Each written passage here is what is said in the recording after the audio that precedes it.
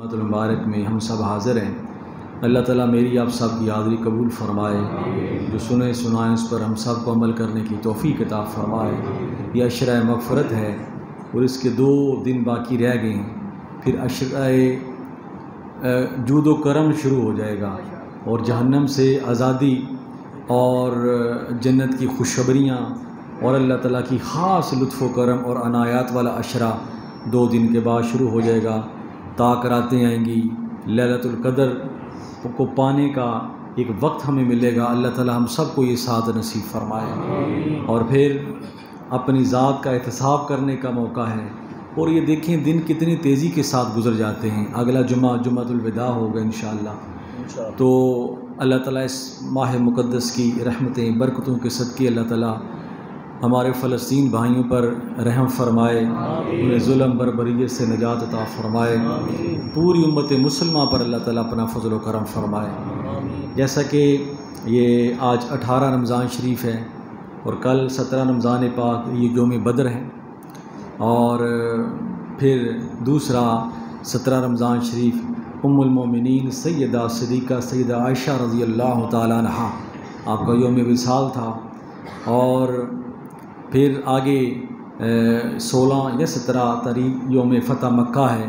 अल्लाह ताला ने मक्का करीम को और खाना कबा शरीफ को हजूर के सदक़े बुतों से पाक कर दिया, शिरक को से पाक कर दिया और तोहीद का ऐसा परचम वहाँ हमेशा के लिए लगा दिया गया कि आका करीम अलैहि वसल्लम ने इशाद फरमाया कि आकाबा आइंदा तेरे अंदर कभी शिरक नहीं होगा।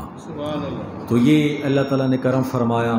फिर इक्कीस रमज़ान शरीफ जो है ये हज़रत शेर खुदा हज़रत अली रज़ी अल्लाह तु आपका योम शहादत है।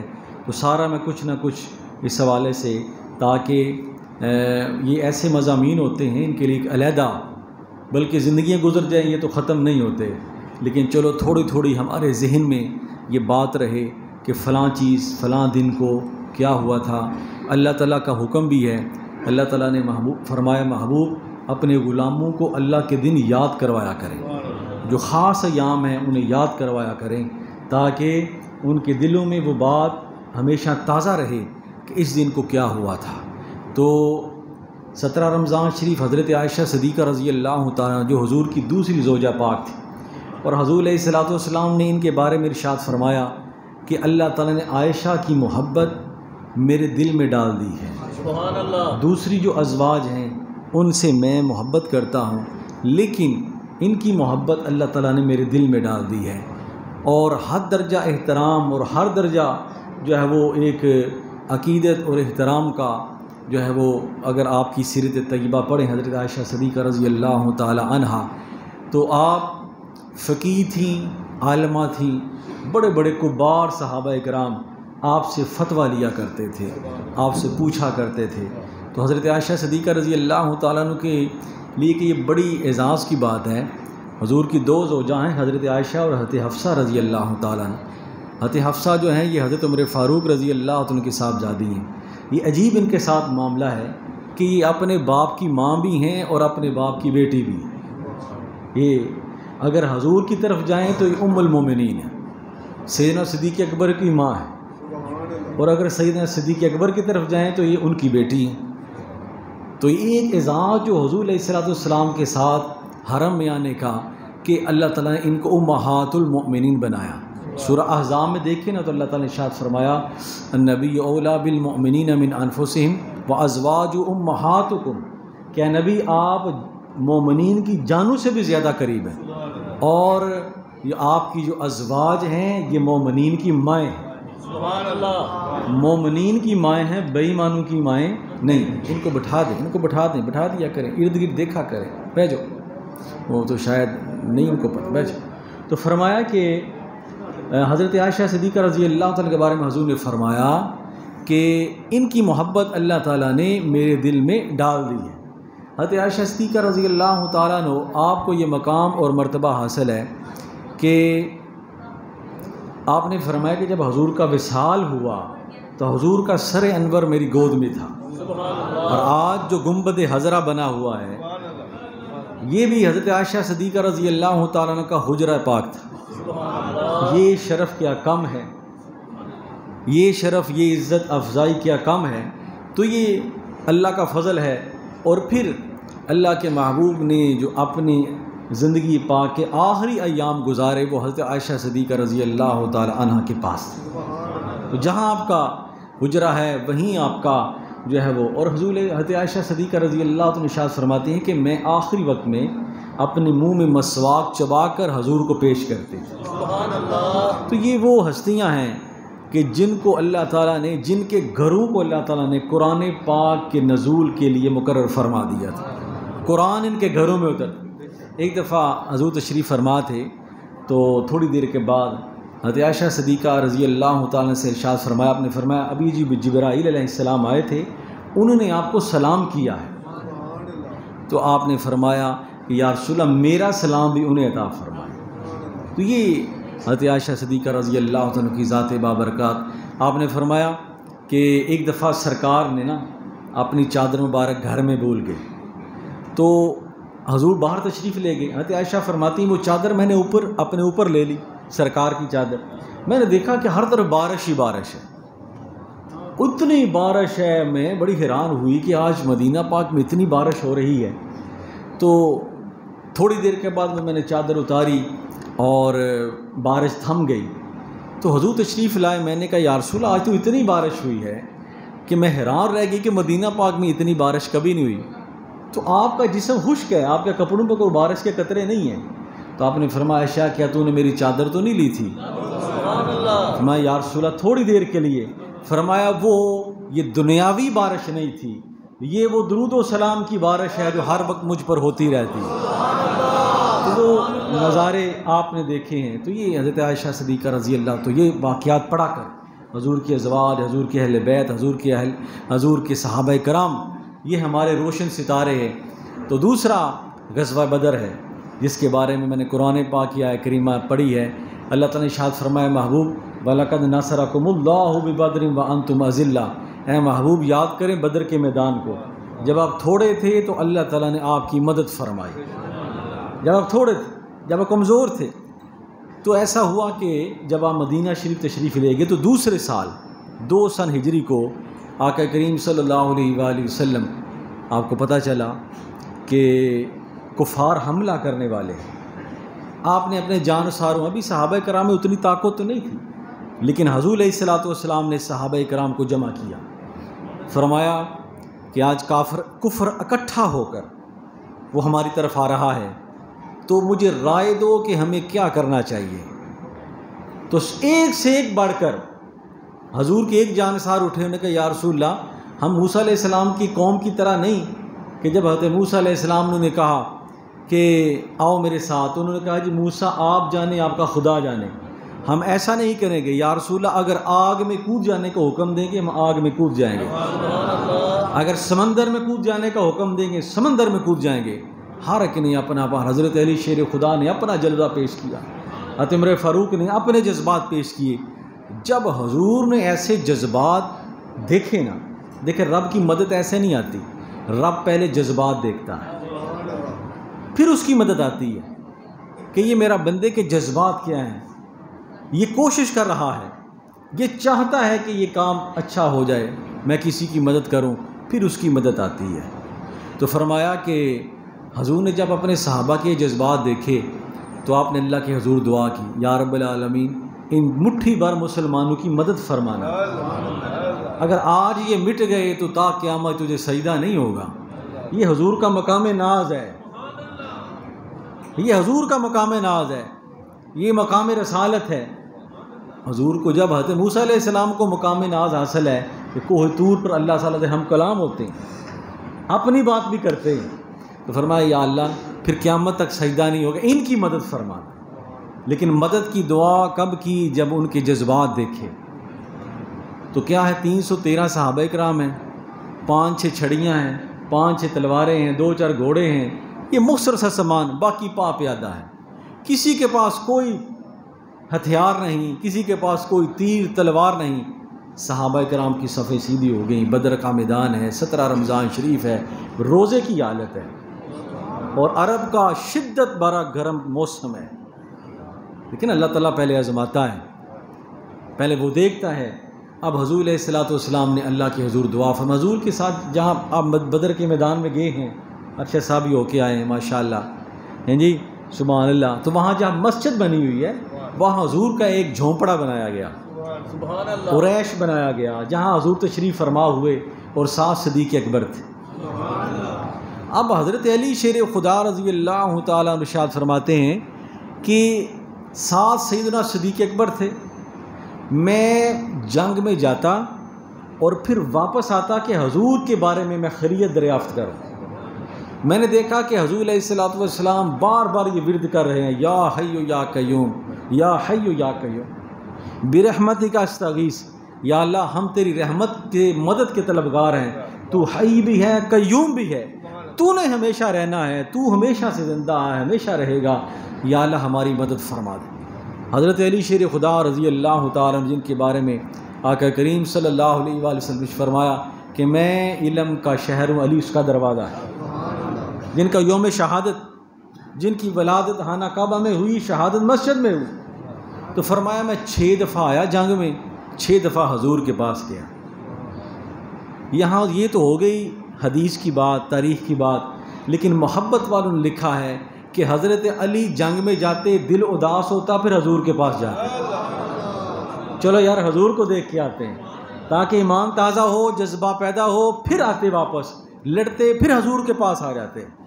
और देखते कि हजूर क्या कर रहे हैं, हजूर क्या पढ़ रहे हैं। फरमाया कि मैं सातवीं दफ़ा मुझे जाने की नौबत न आई, अल्लाह ने मुसलमानों पर करम फरमा दिया। मुसलमानों को फ़तह आता फरमाई, और फिर फ़तह भी ऐसे हज़रत सैदना सदीक अकबर रज़ी अल्लाह तशाद फरमाते हैं कि हजूर, इतनी दुआ आपने गरिया गरियाजारी से की कि आप उठ कर खड़े हो गए। और आपकी चादर मुबारक जो है, वो ज़मीन पर गिर पड़ी।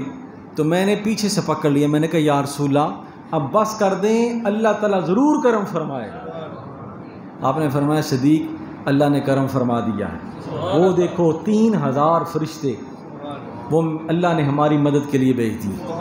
वो देखो पाँच हज़ार फरिश्ते अल्लाह ने मदद के लिए भेज दी तो ये बार मार का बदर जो हुआ इसे योमुलफ़ुरक़ान भी कहते हैं हक और बातल में फ़र्क करने वाला मार का। तो अल्लाह ताला ने फ़रिश्ते भेजे। फरमाया अपने ग़ुलामों को कहो मुझसे मायूस ना हो तुम्हारा रब तुम्हारे साथ तो फरमाया कि ऐसे अब वकर अल्लाह ताला ने करम फरमा दिया है अल्लाह की मदद आ गई है। हजूर के एक सहाबी थे, हज़रत ओकाशा रज़ी अल्लाह बड़े प्यारे सहाबी थे। तो ये हजूर की बारगाह में हाज़िर हुए। अर्ज़ की, या रसूल अल्लाह अलैहि वसल्लम, मेरी तलवार टूट गई। तो ये चंद उन बंदों में से जिनके पास तलवार थी। अब तीन सौ तेरह काफर जो हैं, वो एक हज़ार के करीब है। हर बंदे के पास सवारी, हर बंदे के पास घोड़ा, तीर, तलवार से लैस ये शुरू से ही ऐसे ही मामला रहा। अल्लाह ताला ने मुसलमानों में कमी रखी, लेकिन फ़तह मुसलमानों को दी। तो फरमाया कि, हजूर की बारगाह में दौड़ते हुए हाजिर की यारसोला मेरी तलवार टूट गई। तो मैं तो लड़ना चाहता हूँ, बल्कि आपकी राह में मरना चाहता हूँ। तो यारसोला ये तलवार टूट गई। तो हजूल इस तरह मदद हुई। फ़जाए बदर पैदा कर, फरिश्ते तेरी नुसरत को उतर सकते हैं गर्दूर से गर्दूर से कतार अंदर कतार अब भी। अब भी वो आ सकते हैं। लेकिन वो फ़जाए बदर तो पैदा हो ना। तो फरमाया कि हजूर के पास एक छड़ी पड़ी हुई थी। हजूर ने फरमाया अवकाश है ये छड़ी ले लो इससे लड़ो। अब ये भी एक इम्तिहान ही होता है। अब हज़रत अवकाशा ने ये नहीं कहा यारसोल्ला को तलवार दें ये छड़ी से कैसे लड़ा जा सकता है? ये नहीं फरमाया। क्योंकि उन्होंने छड़ी को नहीं देखा। उस हाथ को देखा जिसने छड़ी ता फरमाई।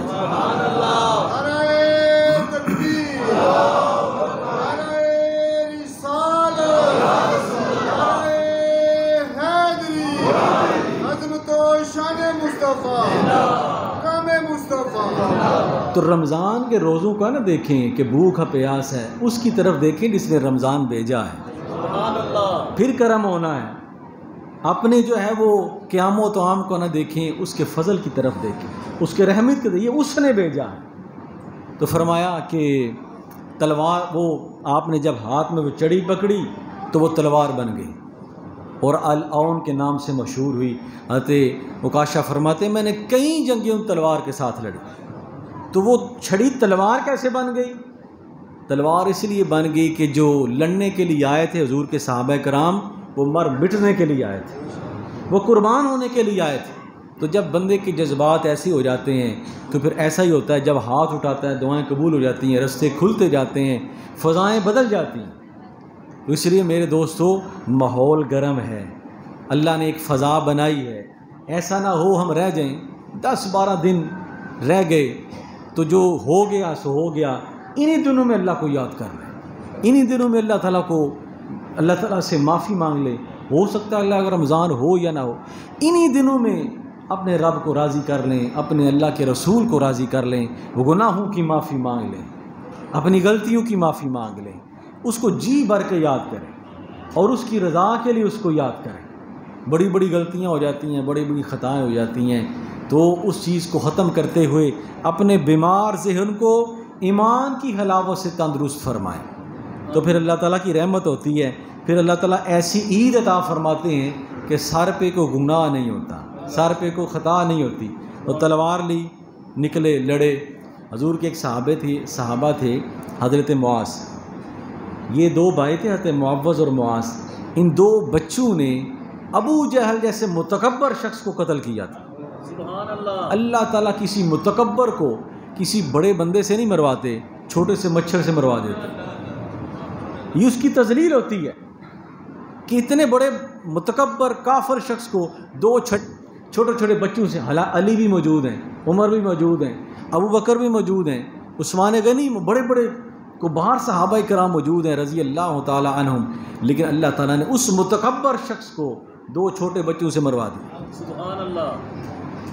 तो हज़रत मुआज जो है ना इनकी इनका बाजू कट गया। और एक आँख पर जो है इनका बाजू खड़ा था। तो उसने कहा आपने सोचा कि बाजू जो मुझे तकलीफ़ दे रहा है बाजू को अपने हाथ से खींचा अपने हाथ में पकड़ कर हजूर की बारगाह में हाज़िर हुए। कैसे जंग है? इसीलिए तो हजूर ने फरमाया ए बदर वालो ए बदर की जंग लड़ने वालो अल्लाह तुमसे राज़ी हो गया और हदीस में लफाज है ए मालूम माशे तुम मुस्लिम शरीफ की हदीस पाक। फरमाया ए साहबा अब जो तुम मर्ज़ी करो रब राज़ी है। जब रब राज़ी हो जाए फिर वो नाराज़ है अबू बकर तुमसे रब राज़ी है, उमर तुमसे रब राज़ी है, उस्मान तुमसे रब रब राज़ी है, ए बिलाल तुमसे रब राज़ी है, उकाशा तुमसे रब राज़ी है, ए सवा तुमसे रब राज़ी है, ए तलहा, ए सलमान अलमकदा तीन सौ तेरह साहब कराम इसलिए साहब कराम में हल्फ राशदीन के बाद सबसे पहला मकाम असहाब बदर का है। हजू ने फरमाए से कोई गलती भी हो जाए ना तो माफ़ी है। ये हजूर का करम है। इसमें कोई दखल दे सकते हैं? ऐसा क्यों हुआ, वैसा क्यों? रब राज़ी हो गया। तो फरमाया कि हजूर की बारगाह में हाजिर की, या रसूल मेरा बाजू कट गया है। करम फरमाए। तो हजूर ने ये नहीं फरमाया कि मैं कोई डॉक्टर तबीब थोड़ी हूँ, ये नहीं फरमाया। आपने फरमाया, अगर सब्र करो तो अजर मिलेगा। या रसूल जन्नत मिलेगी।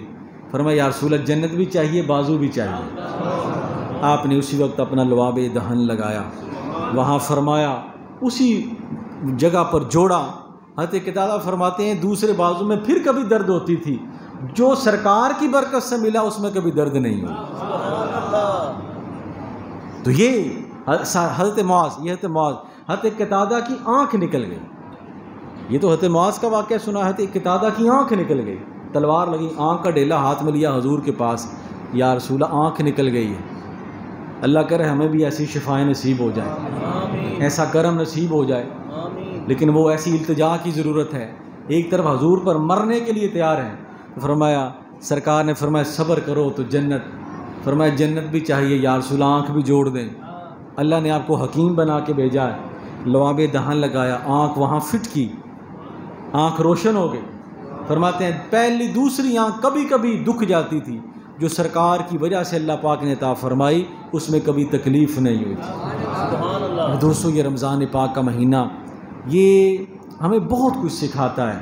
हज़रत अली शेर खुदा रज़ी अल्लाह जो फ़ातह हैबर है, जो खैबर का कला फ़तह नहीं हो रहा तो चालीस दिन हो गए। फरमाया, कल मैं उस शख्स को अलम दूँगा, जो अल्लाह उसके रसूल से मोहब्बत करता है, और अल्लाह उसके रसूल उससे मोहब्बत करता है। आपकी आँखों में भी तकलीफ़ थी कभी कभी हो जाती। तो आपने फरमा उन्हें बुलाया जाए। हज़रत अली आए तो आँखों से आँसू बह रहे थे। फ़ौर आँसू, आँखों में अपना लवाब दहन लाया, आँखें ठीक हो गई। जब अली रज़ी तशरीफ़ लेकर आए तो खैबर को फ़तह करने में एक मिनट भी नहीं लगा। ला फ़तः अली, ला सईफ़ा जुल्फ़ार मेरे दोस्तों, आएँ रमज़ान पाक की ताक कराते हैं एतकाफ़ भी करें जो खुशकस्मत करना चाहते हैं। और ताकरातों को जागे भी, गुनाहों की माफ़ी मांगे लैलातुल्क़द्र को हासिल करने की तोफ़ी किताब फरमाए। अल्लाह ताला हमारे हाल पर रहम फरमाए। वमा अलीना उदावाना आलमीन। सुनते हैं फरमाए